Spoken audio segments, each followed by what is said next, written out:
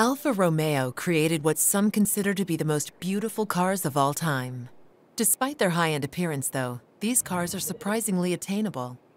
Alfa Romeo was a dominant force in the early days of auto racing, winning the first Automobile World Championship and first Formula One race along the way. They also were early innovators of variable valve timing, fuel injection, and double overhead cam engines, bringing racing pedigree into production street cars. Alfa Romeo, however, is famous for one thing beauty. Even Henry Ford once admitted when I see an Alfa Romeo go by, I tip my hat. Racing enthusiasts have often said you cannot be a true petrolhead until you've owned an Alfa Romeo. But their popularity goes beyond car experts.